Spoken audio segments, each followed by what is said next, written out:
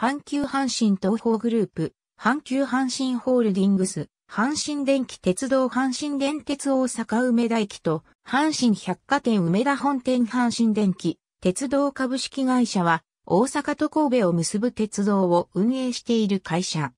通称は、阪神電鉄、阪神電鉄 KK、または、阪神電車、略称は、阪神、キャッチコピーは、大切がギュッと、阪神電車。阪急阪神ホールディングスの完全子会社であり、阪急阪神東方グループの企業である。日本の大手私鉄の一つである。大阪神戸間という大都市同士を結び、都市間電気鉄道としては日本で最も古く1905年に営業を開始している。2009年3月時点の鉄道事業の営業キロは 48.9km、バス事業の営業キロは 1979.8km。また、プロ野球球団、阪神タイガースの親会社でもある。2006年6月19日に村上ファンドによる買収問題を発端とする株式公開買付が成立し、阪急電鉄を中核とする阪急ホールディングスの連結子会社となった。同年10月1日には、阪神電気鉄道株1株につき、阪急ホールディングス株1.4株を割り当てる株式交換を実施し、阪急阪神ホールディングスの完全子会社となった。詳しくは、阪急、阪神経営統合を参照のこと。本社所在地は、大阪府大阪市福島区エビエ1丁目1番24号。他に、東京事務所が、東京都千代田区有楽町1丁目5番2号、東方ツインタワービル5階にある。三崎正造は、三好電気工場で国産初の電車を手掛け、1899年に阪神電鉄に招かれて議士長となり、1917年より専務を務めた1896年、田中一兵衛、富山修造、川上差一郎、前川巻作り、大阪発起人総代により、広瀬彩平、藤田伝三郎、豊田文三郎、岡橋ジスケラを加え発起人会が発足する。1899年6月に社名を摂津電気鉄道株式会社として社長に富山修造を迎えて設立。同年7月に阪神電気鉄道株式会社に改称した。阪神は大阪神戸間の平行線開業に反対する鉄道作業局が所管する施設鉄道法ではなく内務省と鉄道作業局が共同で所管していた軌道条例に依拠し、しかも当時の内務省幹部であった古市君武から線路のどこかが道路上にあればよかろうとの了解を得ることで、ほぼ全線を高速運転に有利な専用軌道とするという法の抜け穴をついた奇策によって、1905年4月に神戸大阪間の本線を開業した。従来の路面電車に比べ、軌道、車両ともに高規格の設備は、当時の阪神で煙鉄技師長であり建設時にもアメリカ視察を行った三崎正造の意向を反映したもので、建設ブームの真っ只中にあったアメリカのインターアーバンに版を取ったものであった。阪神電気鉄道第2発電所と車庫沿線の名所、サモンド川菓子と航路園遊園地、今西林三郎路線図本線と阪神南波線が阪神の主要路線である。本線は大阪、北の大阪梅田駅から神戸随一の繁華街、ターミナル駅の神戸三宮駅を経由して、元町駅に至る。JR 神戸線及び阪急神戸本線と競合関係にあるが、線路の曲線や駅数が多いため、両者より所要時間の面では不利である。また、元町駅から西側は神戸高速線を経由して山陽電気鉄道本線の山陽姫路駅まで直通運転を行っている。阪神南波線は大阪、南の大阪南波駅から尼崎駅を結ぶ路線であり、大阪南波駅からは近鉄南波線、奈良線に直通して近鉄奈良駅まで至る。2009年の阪神南波線の開業により、神戸、三宮大阪、南波奈良を結ぶ広大な私鉄ネットワークが完成した。また、山陽電気鉄道に加え、近鉄とも直通乗車、阪急に加え南海とも直接乗り換え可能になり、関西の大手私鉄5社のうち京阪を除く4社の路線と JR や地下鉄を介さずに直接乗り換えることが可能になった。関西の大手私鉄では唯一、大阪の二大繁華街である北南の双方に自社路線で乗り入れている。明治時代、開業にあたって、関鉄線との競合を危惧する鉄道産業局側の反対から、施設鉄道法での許可が得られず、この問題を回避するため、当時まだ内務省単独所管だった軌道条例準拠による軌道敷設申請を行った。これは、軌道が道路交通の補助であったことに加え、当時の内務省幹部で土木工学の大家として、都市交通について造形の深かった古市君竹から線路のどこかが道路上にあればよかろうとの了解を得たことで実現した。これらの経緯からと集客を目的として、西国街道沿いの集落を結ぶルートを選択した名残で、各駅間が平均 1km と短く、駅の数が多い。京都電気鉄道、名古屋電気鉄道、大師電気鉄道、小田原電気鉄道、豊州電気鉄道、江ノ島電気鉄道、宮川電気、東京電車鉄道、東京市街鉄道、東京電気鉄道、大阪市営電気鉄道、横浜電気鉄道、土佐電気鉄道に続く日本で14番目の電鉄運営事業者であり、開業当初の線区が現在も存続するものとしては日本で4番目に古いである神戸鉄道を除く。大阪と神戸という大都市を結んで日本における都市間電気鉄道の先駆けにもなった鉄道でもある。阪神の社門電気を表彰する稲妻でレール断面をひし形に囲んだだけの開業以来変わらぬシンプルな斜門にその歴史が現れている。1920年にメインの路線である本線に並行して阪神急行電鉄が神戸本線を開業させると乗客獲得競争を繰り広げるようになった。それは車内でハンカチを乗客に無料配布するといった身近なものから他社の営業活動をお互いに妨害するという過激な事態にも及んだ。阪神はこの頃から大阪神戸間の多頻度運転を進めることになり、待たずに乗れる阪神電車というキャッチフレーズがよく知られるようになった。2006年の経営統合後の阪急は、兄弟会社であり、共存共栄、住み分けが図られている。2014年7月には、尼崎工場で阪急の車両を乗せ電鉄仕様に改造するため、阪神の線路上を阪急の車両が走っている。1969年より1975年にかけての国道線及びその四線区2線の廃止開始直前の総営業キロは 75.1km であった。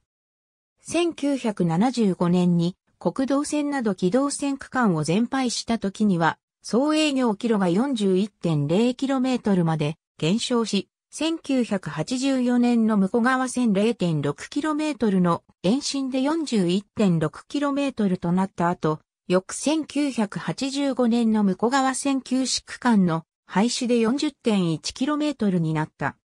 これに、第二種鉄道事業区間の神戸高速線及び、阪神南波線延伸区間を含めても 48.9km で、1990年に相模鉄道が大手私鉄へ昇格するまでは、大手私鉄の中で営業距離が最も短かった。保有路線はほとんど平野部、または臨海部に所在することから、3カ所あるトンネルはすべて地下トンネルであるため、関西の大手私鉄5社で唯一山岳トンネルを保有しないのが特徴である。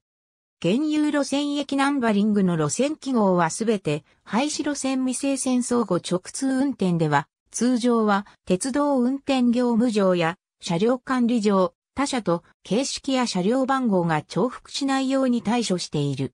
しかし、神戸高速鉄道乗り入れ開始時の経緯から、阪神の在籍車では5000番台が直通する、山陽5000系列と一部重複する車両番号となっている。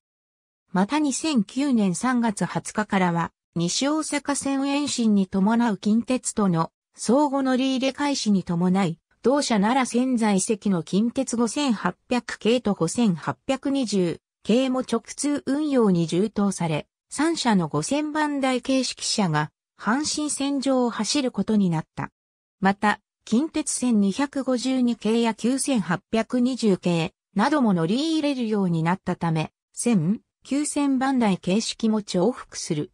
なお、阪急電鉄、神戸電鉄にも5000系電車が存在するため、神戸高速鉄道には直通運転に参加している4社すべての鉄道会社の5000系電車が乗り入れている。阪神3000系が廃車される2003年までは3000系も4社すべてが保有していた。また2000系も4社とも神戸高速鉄道に乗り入れていた。京阪電気鉄道の開業時には大阪市電を経由して阪神が京阪天満橋駅まで、京阪が阪神梅田駅まで直通する構想があり、阪神一系電車と京阪一型は、寸法、性能ともほぼ同一で設計されていた。だが後に比較的大型の路面電車を走らせることになる大阪市電はまだ小型車のみで運行しており、乗り入れるなら市電と同じサイズでと要望があったため、折り合いがつかずに頓挫した。元町駅は2010年10月1日より阪神と神戸高速鉄道の共同使用駅から阪神の単独駅となった。かつては子会社に向こう側車両工業を有していた関係で、現有車両は向こう側車両工業製が半数以上を占めている。例外的に9000系前車と5500系の一部が川崎重工業製であるほか、向こう側車両工業が解散してからは5550系のみ、アルナ車両製で、それ以降の1000系、5700系はすべて近畿車両製である。なお、1960年代頃までは、汽車製造製や日本車両製造製の車両も在籍していた。2016年度に5700系が鉄道友の会のブルーリボン賞に選定され、阪神の車両として初の鉄道友の会 BL 賞を受賞した。2015年3月以降、全車両の先頭車運転席側に大切がギュッとマークを取り付けている。関西の私鉄では車両を長期間使用することが多いが、阪神では車両冷房化をいち早く進めたことから、その対象から外された初期の大型車は、登場から20年ほどで廃車になる車両も見られた。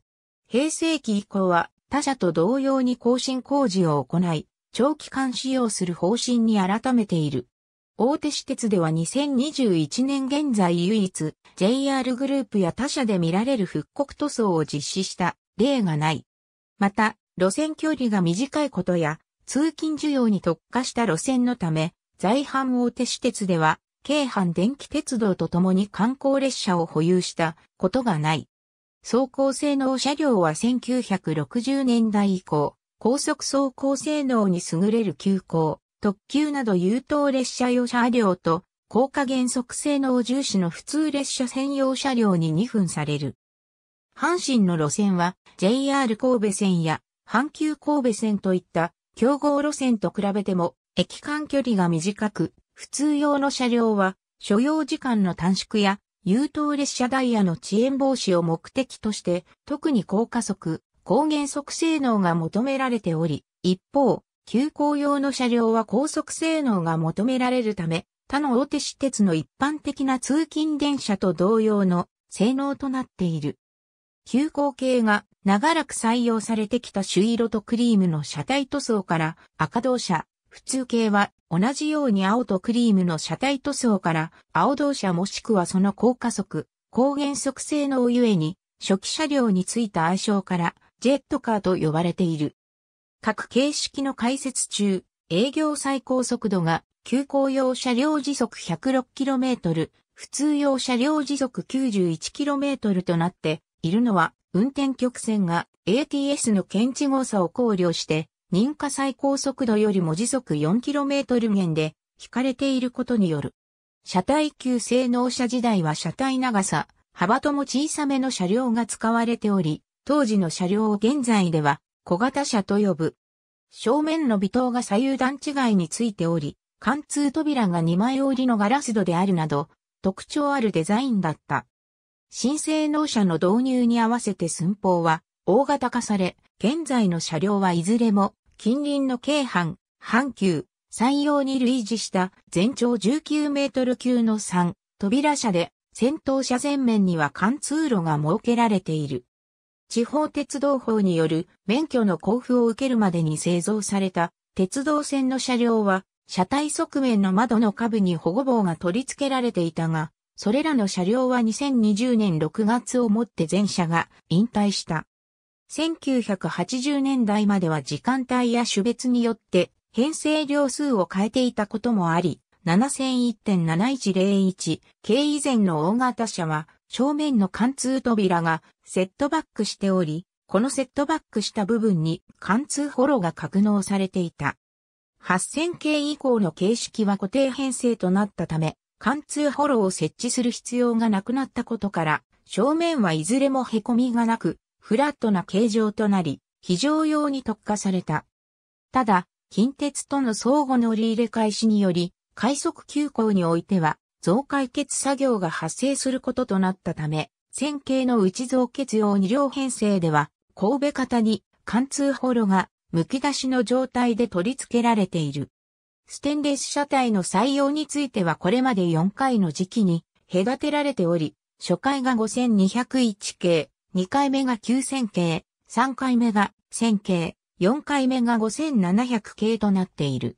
なお、1000系と5700系との間に登場した5550系は普通高車体で新造されている。一方、開業から現在に至るまで、アルミニウム合金製の車両を導入したことは一度もない。9000系までの両開き扉を持つ車両は、扉の開口幅は他車より広く 1400mm を標準としていた。9300系以降は他社並みの 1300mm となっている。機器車体デザインは全般的にオーソドックスな全面貫通型3扉であるのに対し、早期における軽量高性能車、高原加速車の開発、電気子直波制御の実用化、冷房化の推進など技術面の功績から、長らく技術の阪神として評価が高い。ただし、VVVF インバータ制御の初導入は1995年の5500系であり、大手私鉄では最も遅かった。電動機、パンタグラフは東芝製の電動機を採用の5700系を除き東洋電機製造製であり、制御機のメーカーは東芝と三菱電機が現在の所有全車両において約半数ずつの採用となっている。他社からの直通運転可能な車両の一部で採用している日立製作所や富士電機の製品は納入していない。制御機に関しては直流性粒子電動機の時代において電気子直波制御、境磁直波制御、境自転加齢時制御という省エネルギー効果のある制御方式を採用している。保有車両数が少ないことが有利に働き、戦前から車内放送装置を全車両に設置していた。1950年代後半から新性能車が各社に登場したが、他の鉄道事業者では1980年代にもまだ大都市近郊で旧性能車が活躍していたのに対し、阪神では1966年という非常に早い時期に旧性能車が淘汰された。ただし、全車両ベースにおける旅客営業用の釣り掛け駆動車両の完全廃止は、国道線廃止の1975年である。多くの鉄道事業者では新性能車導入と同時に、車体は新性能車に準じた構造ながら、走行機器を旧性能車から流用した旧性能機器流用車も製造したが、阪神では7801.7901系の中間車の一部に旧性能車の台車を流用したのみで、大手私鉄では、東急電鉄とともに、旧性能機器流用車の製造実績がない。連結機に、アメリカのバンドン社のバンドン式密着連結機を長く採用し続けたのは阪神のみであった。また、日本国内の鉄道車両の平均的な連結機、取り付け位置よりも 235mm 低い 645mm の位置に連結機が取り付けられていたのも特徴である。2006年から5001系5013号車を皮切りに近畿日本鉄道の車両と共通の回り古式密着連結機への換装が開始され、乾燥後の連結面高さは 840mm となっている。そのままで取り付けを行うと、車体裾と干渉する恐れがあるため、切り欠きをしているが、8000系についてはこの切り欠き加工を実施していない。これは他の形式、系列と比べて車体裾高さが少し高いためだが、後の検査時に切り欠き加工を実施した8000系が存在する。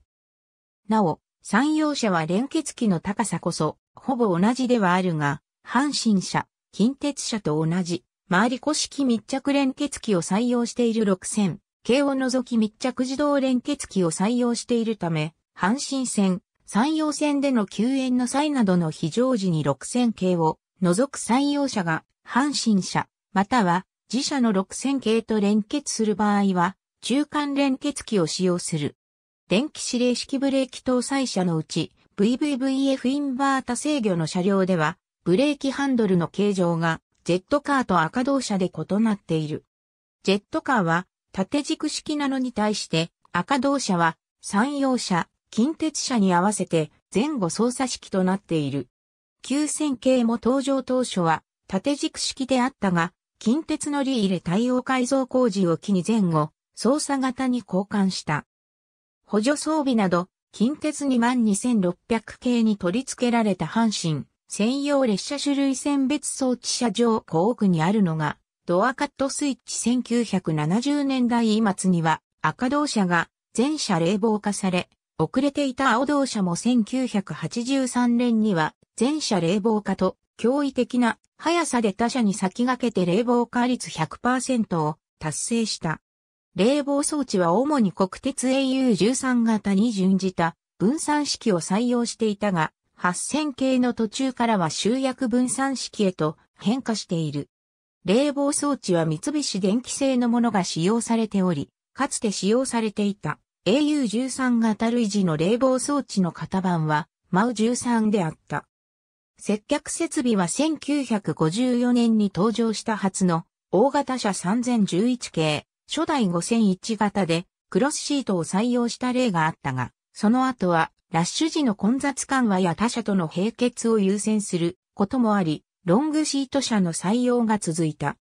2001年に登場した9300系では、セミクロスシートを中間車4両の扉間座席に採用し、以降8000系のリニューアル車にも同様のレイアウトが導入されている。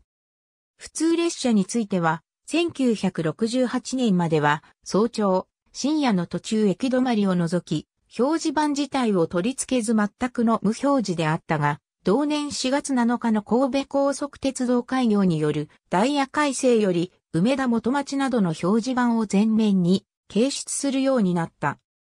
当初は初駅、着駅が書かれた表示板を使用していたが、神戸高速線に普通列車を直通させるようになった1987年12月13日改正以降は取り替え作業を簡素化するため、駅名部分が差し込み式となった表示板を使用した。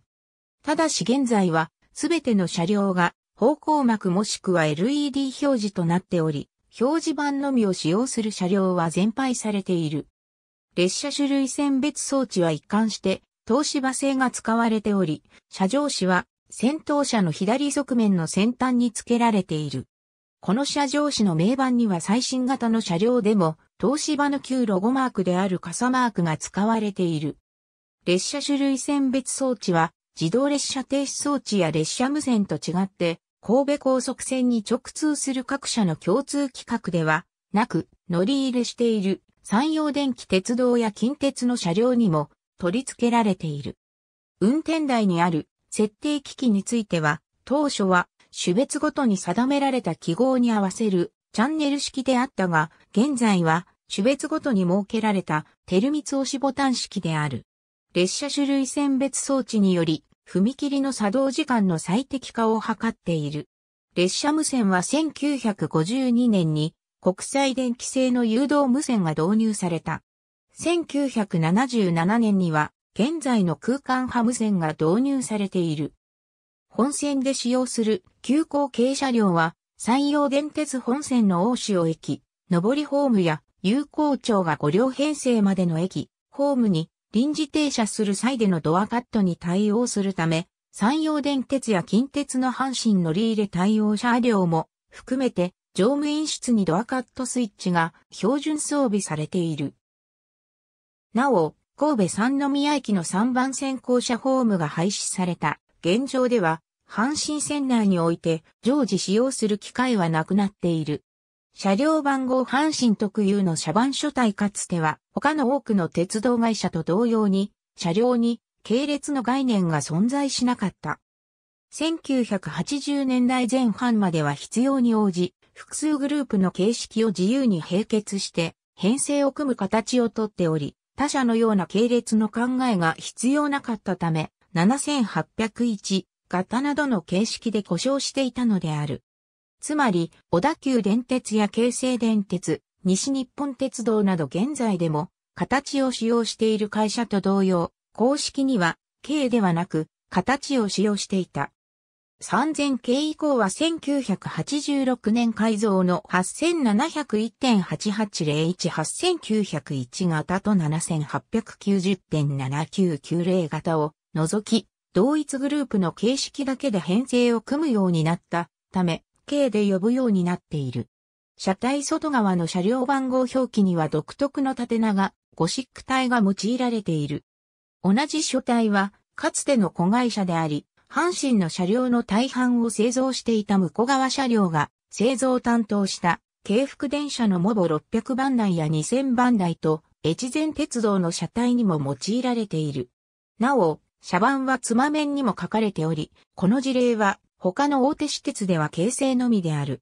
また、車両番号は4桁数字のみで、モハ、クハ、サハといった文字は一切使われていない。分類について、兼用車は通常、急行用車両と普通用車両を基本に分類するが、本校では便宜上、以下の4種類を基本に分類することとする。以下掲載している全車両において、製造初年度が新しい車両は上、古い車両は下に配置している。後期大型車本線においては4両、または6両の固定編成で運用されており、系列把握は他社並みに容易である。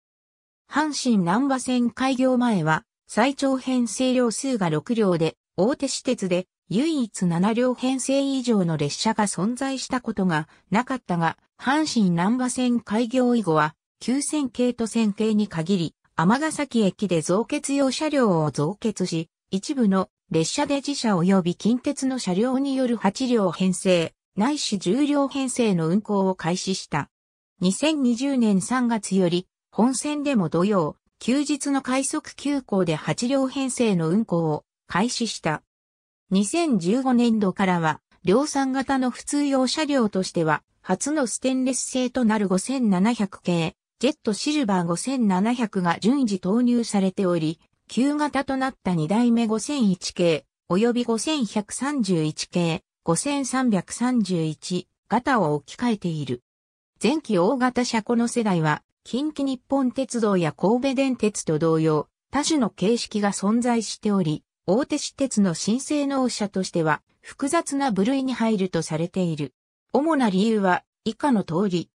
そこで前期大型車については、下記の表を使用し、製造年や改造年により、同世代の急行用車両と普通用車両などの把握を容易にしているので、参照されたい。事業用大型車小型車全車除籍済み、事業用小型車及び電動化車全車除籍済み、併用機動線車両路線廃止により全車廃車。2012年までは関西の大手私鉄で唯一車両基地を一般に公開するイベントを開催したことがなかった。ただし、ワクワクトレイニや石屋川エクスプレスといった事前応募制の貸切臨時列車を運転して車両基地を公開したことはある。大人普通旅客運賃。2019年10月1日改定。神戸三宮駅元町駅間は上表に関係なく130円の特定運賃。強調した金額は阪急の同金額の回数券を券売機で引き換えた上で利用できる区間。神戸高速線は阪神が第二種鉄道事業者となる区間も含めて別途運賃が設定されている。神戸高速線の運賃の詳細は神戸高速線運賃を参照。本線とまたがって乗車する場合は神戸三宮駅を境界として運賃を合算する形になる。加算運賃阪神南波線の西九条駅、大阪南波駅間を利用する場合、運賃に90円が加算された上表の加算運賃、加算ご覧の額が適用される。運賃計算の特例区異正駅大物駅、出来島駅を含む経路を乗車する場合は、大物駅を過ぎて、尼崎駅で折り返して乗車しても、大物駅経由として、運賃計算される。これは、大物駅には、優等列車が停車しないことからの措置であり、乗り継ぐ前後の両方の列車が大物駅に停車する場合も含めて尼崎駅での乗り換えも可能である。ただし、定期券の場合は、大物駅乗り換えか、尼崎駅乗り換えかを指定する必要があり、大物駅乗り換えの定期券では、尼崎駅で乗り換えることができない。回数券の取扱回数券については、現在は、阪急電鉄とともに、磁気カードによる回数カードに統一されており、他社線との連絡回数券以外は、紙仕様での回数券は発売されていない。利用の際は自動改札機に回数カードを直接投入することになっているが、同時に複数人で使用する場合は、あらかじめ駅の自動券売機で必要枚数分の紙仕様の切符に引き換える必要がある。2007年4月1日より、阪急電鉄と運賃が同額となる区間の回数カードについては、阪急電鉄でも利用が可能となった。ただしそのままでは乗車できず、阪急線の駅にある赤色の自動券売機に回数カードを挿入して、阪急の切符に引き換える必要がある。2009年3月20日より新規に出現した270円区間でも、2014年4月1日から980円、260円、270円、310円区間の190円、270円、280円、320円区間の他370円区間でも2019年10月1日から370円区間に変わって380円区間、新規に400円区間でも同様の取り扱いを開始した。なお、引き換えた切符で乗り越しすることも可能である。2018年10月1日より回数カードを紙の切符に引き換えた場合、その切符は有効期限が引き換え当日のみとなった。なお、誤って必要枚数以上引き換えた場合は、駅係員に申し出ることで、その切符は引き換え翌日以降も、回数カード購入時の有効期限内に、限り1回のみ使用することが可能となる。通勤定期での選択乗車制度通勤定期券を使用する場合、以下に挙げる3つの場合で、選択乗車が可能となっている。阪神本線の神戸三宮駅、大阪梅田駅間を含む定期券を所持している場合、阪急神戸本線を利用して、神戸三宮駅と大阪梅田駅でも乗降が可能。逆に、阪急神戸本線の神戸三宮駅、大阪梅田駅間を含む定期券を所持している場合、阪神本線を利用して神戸三宮駅と大阪梅田駅でも乗降が可能。ただし、どちらにおいても、他社の神戸三宮駅と大阪梅田駅以外の途中の駅で乗降する場合は別途乗車した区間の運賃が必要。阪神本線、阪神神戸高速線の神戸三宮駅、高速神戸駅間を含む定期券を所持している場合、阪急神戸本線、阪急神戸高速線の神戸三宮駅、花熊駅、高速神戸駅で乗降可能。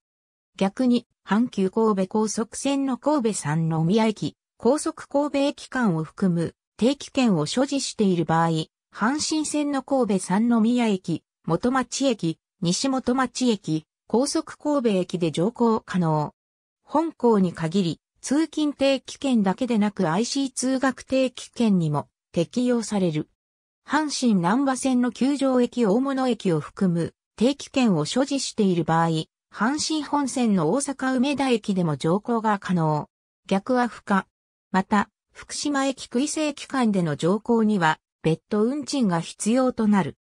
近鉄線との連絡乗車券近鉄との連絡乗車券は、近鉄奈良線系統の一部の駅と大阪線の大阪上本町駅から桜井駅までしか発売できないため、運賃表に記載のない駅へ行く場合はその最寄り駅までの乗車券を購入し、車内か降車する駅で生産することとなる。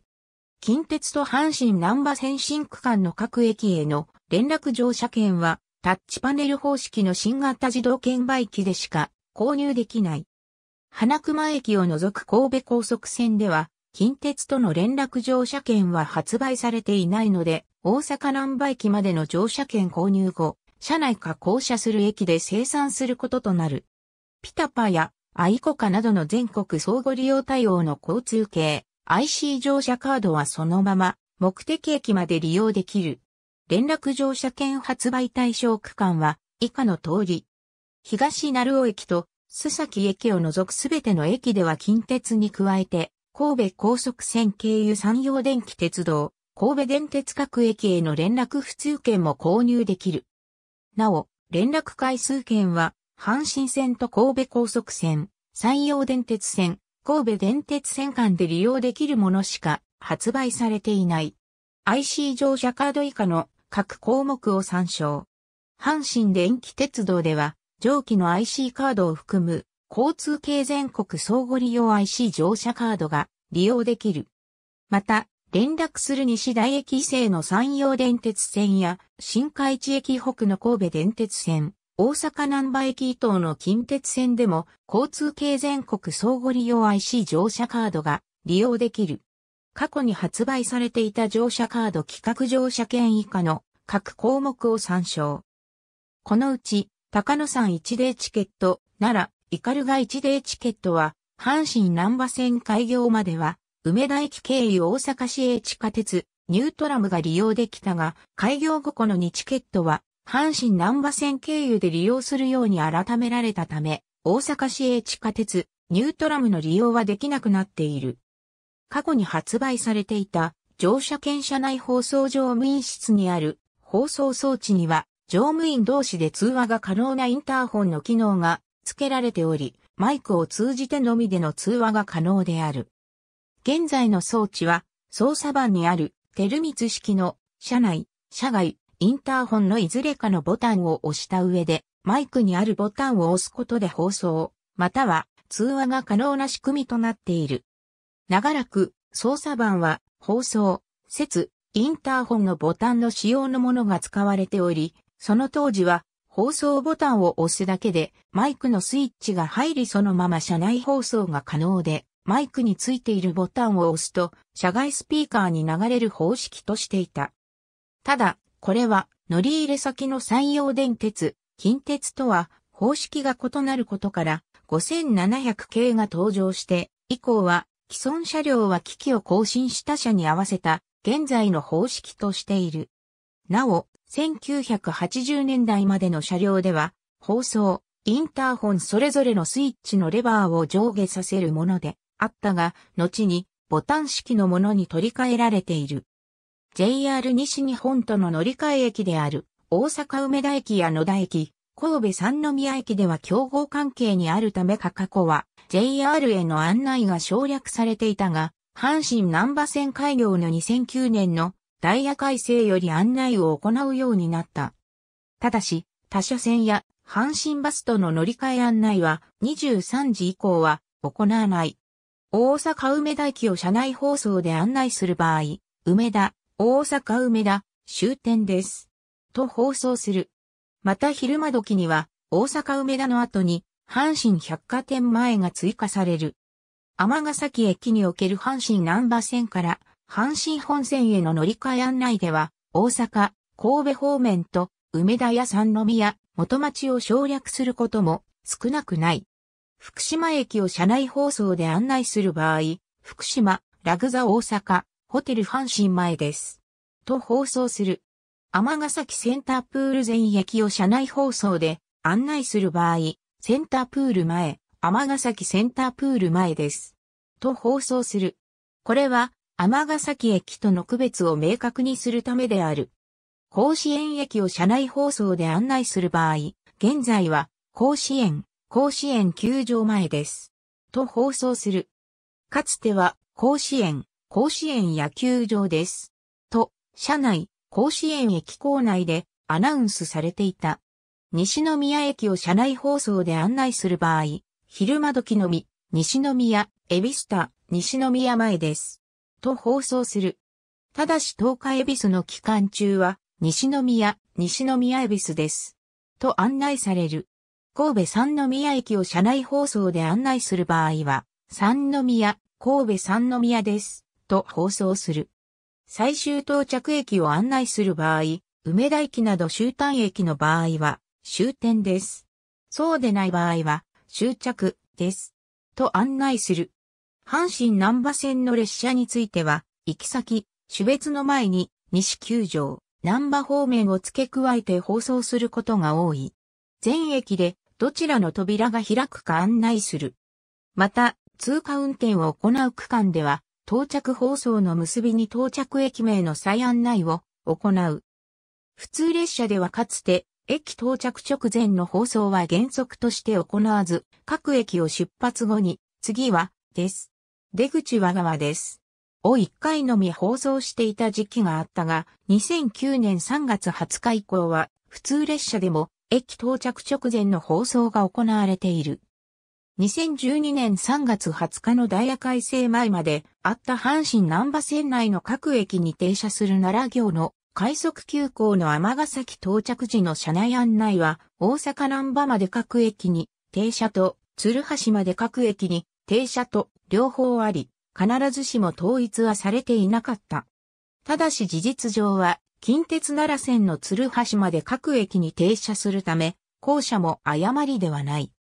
2014年より運転を開始した近鉄22600系電車による貸し切り列車が三影駅を通過する際は、上りでは石屋川駅手前で、下りでは住吉駅手前で間もなく三影駅を通過します。電車が揺れますのでご注意ください。と放送を行う。また、上りでは乗務員交代となる桜川駅で、下りでは乗客の下車する各駅で阪神電車をご利用いただきありがとうございましたと放送を行う。2016年3月19日のダイヤ改正からは、車内での駅到着時の乗り換え案内では、乗り換えのご案内をします。などと、丁寧な表現が用いられている。2017年2月から、姫路は、山陽姫路、南波は、大阪南波、日本橋は、近鉄日本橋、奈良は、近鉄奈良など、それまで省略して案内していた駅名は、すべて正式駅名で案内するようになった。2019年3月20日より、阪神南波線内と本線の快速急行で多言語自動放送を開始した。これは乗り入れ先の近鉄が先行して車掌が携帯するタブレット端末を用いて多言語自動放送を行っていることに追随したもので、タブレット端末を車両側のコネクタに接続して、タッチパネルを操作し、日本語と英語、一部で中国語、韓国語による多言語自動放送を行うものである。なお、これらはすべて音声合成ソフトで作成した人工音声である。まず、先行してコネクタが取り付けられた1000系と9000系、そして阪神線乗り入れ対応の近鉄車両において開始し、後に8000系、9300系にもコネクタが取り付けられたため、本線内では快速急行に加えて直通特急、特急、急行でも2020年3月14日のダイヤ改正以降にタブレット端末のコネクタを取り付けた編成で多言語自動放送を始めている。さらに2021年1月以降は、山陽車両にもコネクタを取り付ける改造を行い、山陽電鉄でもタブレット端末を導入したため、大阪梅田駅山陽姫路駅の全区間において自動放送を行っている。原則として、早朝と夜間では自動放送は行わないが、早朝、夜間でも車掌の裁量で使用することもある。ただし、普通用車両にはコネクタが取り付けられていないため、本線、神戸高速線では急行系車両も含めて普通では、すべて車掌の肉声による案内であるほか、神戸高速線の高速神戸駅新海地駅間に乗り入れる阪急車両も、阪急神戸本線においては、自動放送を導入していないため終日肉声での案内である。また、阪神南波線大阪南波駅桜川駅間の運行は近鉄の乗務員が担当しているため、この区間のみ自動放送は近鉄のタブレット端末による近鉄のフォーマットで放送されている。他にも、駅到着時の接続列車の案内などは従来、通り肉声放送で行われている。なお、向こう側線の列車は、本線、阪神南波線に先駆けて、自動放送を採用しているが、ワンマン運転のためタブレット端末の操作による手動ではなく、列車の走行に応じて放送を開始する自動制御のものである。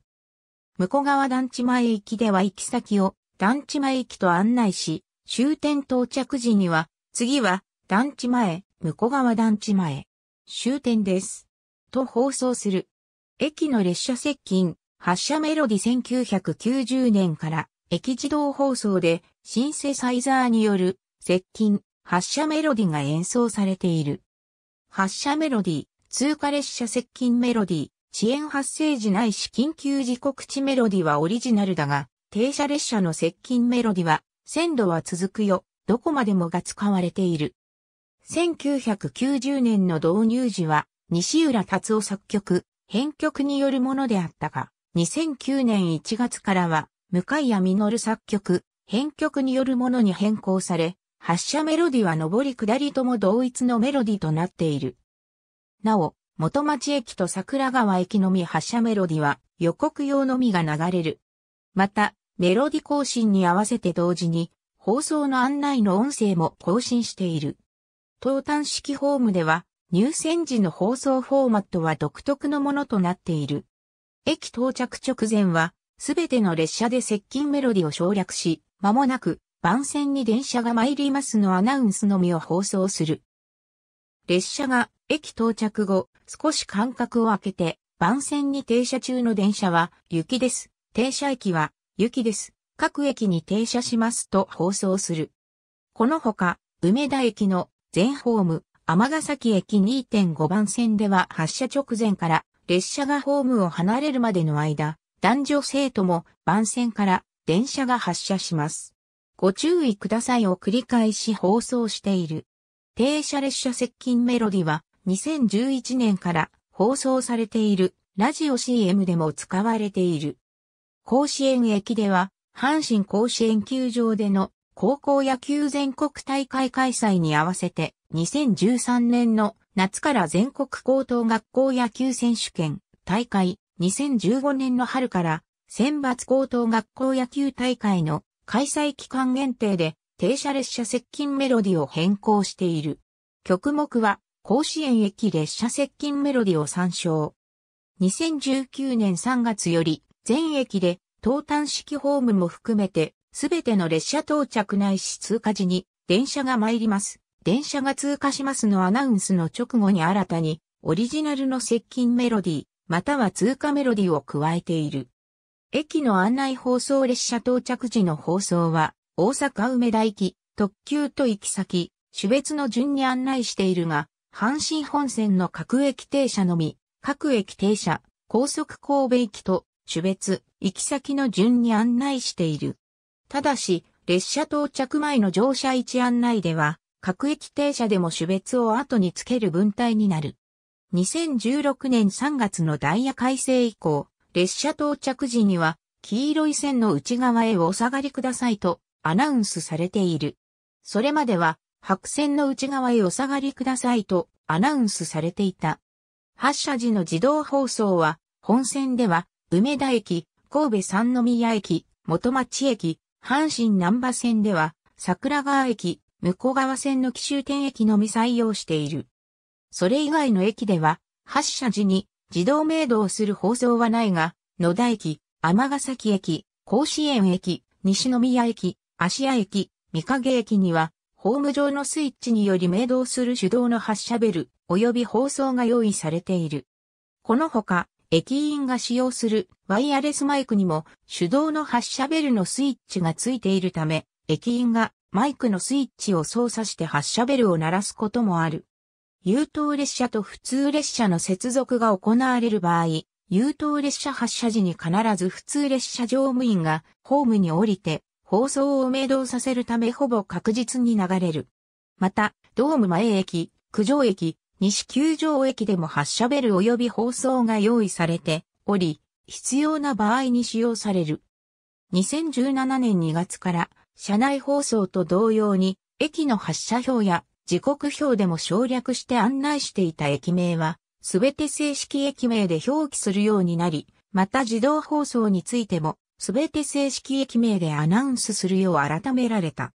駅での警告放送やイベント案内放送、啓発放送については、法屋のボイステックス等を採用して、以降は人工音声によるものも放送されている。駅名表、駅の案内サインかつては、旧国鉄に準じた定時矢印形式の駅名表であったが、ひらがなは使用されず、漢字のみが記載されているものであった。その後同じく、定時矢印形式であっても、上部よりローマ字の大文字、ひらがなで駅名が書かれ、前後の駅は、ひらがなのみが記載されたものが使用された。1970年代に入ると、京阪電気鉄道や南海電気鉄道にも見られたタイプの駅名表に変わり、当初は白地に黒色、後に白地に青色で、駅名、前後の駅は青色字に白文字で記載されているものが長らく設置されていたが、2009年1月下旬により、前線で青がベースで白文字の新しい駅名表に統一されている。これと同時に、駅の案内サインもほぼ全面的に刷新され、ユニバーサルデザインに基づいた表示に更新されている。この駅名表は2010年10月1日より、神戸高速鉄道東西線、花熊駅を除く各駅にも導入された。なお、花熊駅には、阪急タイプの駅名表が導入されている。共同使用駅である大阪南波駅と西大駅は、それぞれ駅を管轄する近畿日本鉄道、山陽電気鉄道仕様の駅名表となる。2014年3月には、翌月4月1日より導入する駅ナンバリングに対応した駅名表への取り替えが行われ、デザインも若干変更された。縦書きタイプの駅名表を設置している駅は一つもなかったが、阪神南波線の2009年に開業した駅及び、リニューアル後の神戸三宮駅に設置されたほか、神戸高速線内にも古い縦書き駅名表が存在する。駅名表、車内案内表示器の英字表記は、阪急や京阪と同様1文字目が大文字で、以降が小文字となっている。一方で、車体正面、側面の種別、行き先表示器や駅構内の発車表での種別、行き先表示では、未だにすべて大文字のみとなっている。なお、2017年2月より、行き先や停車駅の表記は、姫路が山陽姫路、奈良が近鉄ならというように省略はせず正式駅名での表記に改められている。駅の発車表は、かつてはソラリー式が主に使われたが、1990年代から3色 LED 式が主流となり、阪神南波線の別新開直前の2008年からは、フルカラー LED 式の設置もしくは更新が行われ、現在に至る。かつては字幕式が尼崎駅で阪神南波線延伸開業前まで使われたほか、ソラリー式は最後に残った甲子園駅で2012年まで使われた。また、野田駅、甲子園駅、西宮駅、三影駅、神戸三宮駅の格闘式ホームでは、従来の左右乗り場独立したものに変えて、直近4列車を一括で表示する大型のものが設置されている。また、主要駅の駅改札口には、直近2から4列車が表示される、フルカラー LED 式のものが設置されているほか、現在は、すべての駅の改札口に上下線とも、直近に列車が表示される液晶モニターが設置されている。駅ナンバリング駅ナンバリングが入った駅名標2014年4月1日より、阪神全駅で駅ナンバリングを導入した。最初に発表した時点では、近畿日本鉄道と協議中であったため、近畿日本鉄道管理の大阪南波駅を除くとしていたが、最終的には大阪南波駅も同日より導入することになった。路線記号は阪神から HS となる。導入に先駆けて、同年2月頃より一部車両の車内案内表示で、駅ナンバリングが表示されており、3月に入り、駅名標や車内の路線図が新しいものに交換された。数字は、阪神本線、神戸高速線が00の30番台、阪神南波線が40番台、向こう側線が50番台となり、大物駅、尼崎駅、向こう側駅は本線の駅ナンバリングが付与され、西大駅では、山陽の駅番号である SY01、大阪南波駅では、近鉄の駅番号である A01 も付与される。駅名表への駅ナンバリングの記載については、大阪南波駅は、阪神、近鉄両方が、西大駅は、阪神、山陽両方が記載されている。方向版駅名駅設備運行情報、遅延証明書野球開催時の輸送体制集や運転講習無線欄2013年3月までに、阪神の各駅と神戸高速線各駅に公衆無線欄が設置された。利用できるのは au の au Wi-Fi スポットとワイヤーワイヤレスの Y2300、ソフトバンクのソフトバンク Wi-Fi スポット、NTT ドコモのドコモ Wi-Fi となっている。なお、SSID として、これら3つの他 HS-Wi-Fi が検出されるが、HS-Wi-Fi の用途は不明で、セキュリティがかかっているため利用はできない。これらは、阪神の駅だけではなく、阪神甲子園球場にも設置されている。また、阪神の駅や施設だけではなく、阪急阪神グループの駅や商業施設にも拡大する予定となっている。2013年2月28日からは au とソフトバンクに加え NTT ドコモのドコモ Wi-Fi も利用できるようになった。iTech 阪急阪神が運営に当たっており、阪神のほか、阪急、北大阪急行電鉄、野瀬電鉄の各路線でも展開されている。公認サイト1996年から社内の鉄道ファンによる公認サイトマニアック阪神が開設されていたが、2010年3月末をもって閉鎖された。毎年4月1日には、ジョークサイト、ハニワック坂上が登場していた。レジャー事業は古くから行われており、初期のものでは本線が営業開始した1905年に開設された内出海水浴場や1907年開設の高路園浜海水浴場や高路園遊園地などがあった。全国中等学校優勝野球大会も誘致し、会場となった鳴尾球場や阪神甲子園球場を相次いで建設した。その後、阪神甲子園球場では、選抜中等学校野球大会も開催されるようになり、昭和になると、阪神甲子園球場を本拠地とする職業野球球団である阪神タイガースを創立した。他にも、明治末期から昭和初期にかけて、鳴尾で、いちご狩りイベントを実施したり、甲子園地区や六甲山地区の開発にも携わり、阪神間モダニズムの一翼を担った。プロバスケットボール B リーグに所属する西宮ストークスのゴールドパートナーにもついている。現在でも直営の施設を持っているが、大部分の施設の運営は、子会社の六甲山観光株式会社に委託されており、子会社が所有している施設もある。阪神電鉄バス阪神尼崎にて撮影。正面倉下に阪神の社門がある。かつては阪神電鉄バスとして直営で運行しており、大手私鉄直系のバス事業者の中で最後までバス事業の分社化を全く言っていなかったが、再三の悪化により2005年12月14日に子会社として阪神バス株式会社を設立し、翌2006年6月から阪神西宮発着の一般バス路線及び三宮ハット神戸の路線が同社に移管され、2009年4月1日に管理会社分割方式により残りのバス路線もすべて阪神バスへ譲渡された。これにより、関西の大手私鉄各社は、すべての会社がバス事業について子会社による運営に切り替わった。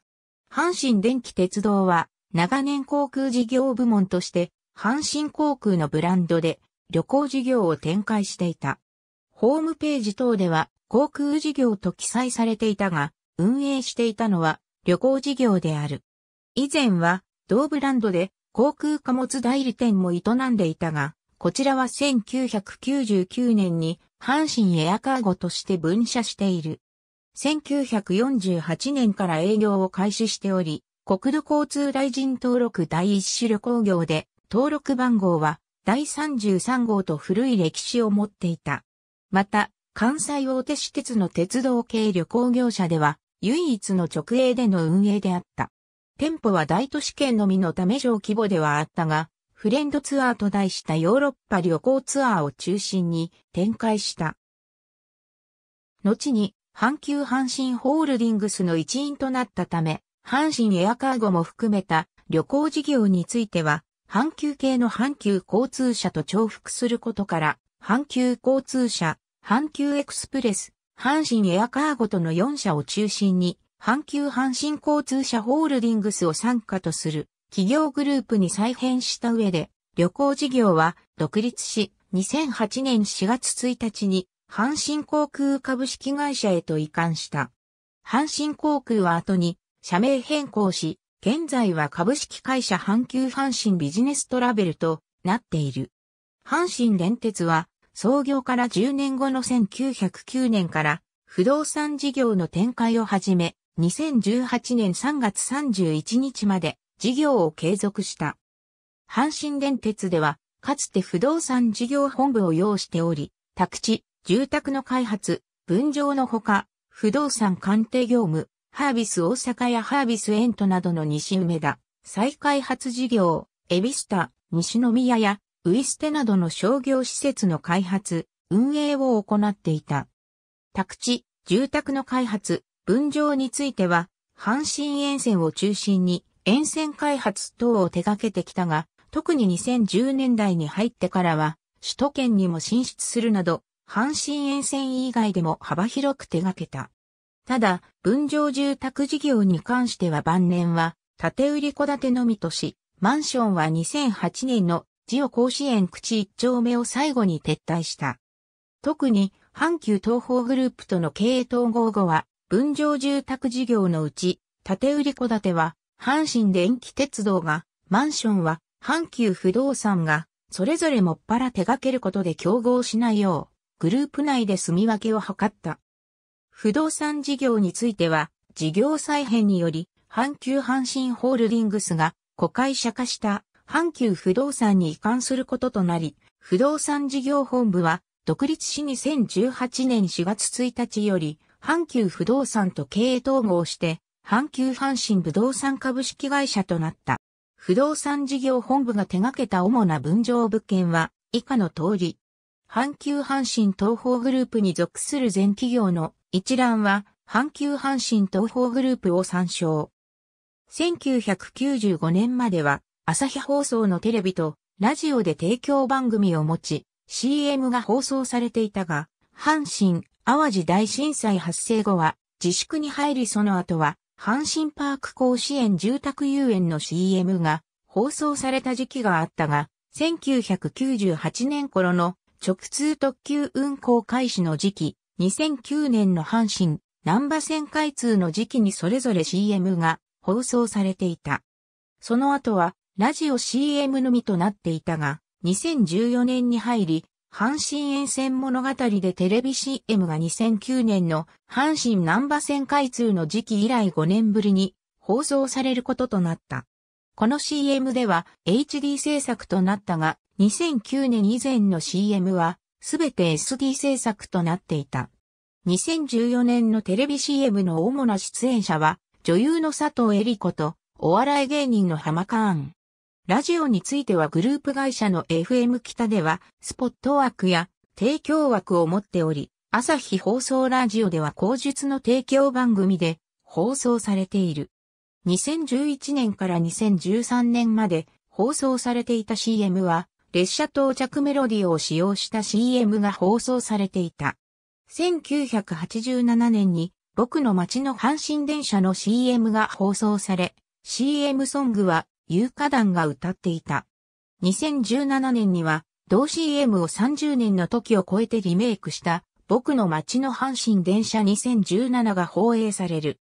1987年版と2017年版では構図、CM ソングは全く同じであり、阪神タイガースの帽子、阪神百貨店の紙袋が2017年現在のものに変更され、撮影車両も8000系から1000系に変わった。阪神沿線物語シリーズ CM 出演者このほか、檜山慎二郎がワンシーンのみ出演していたこともある。ありがとうございます。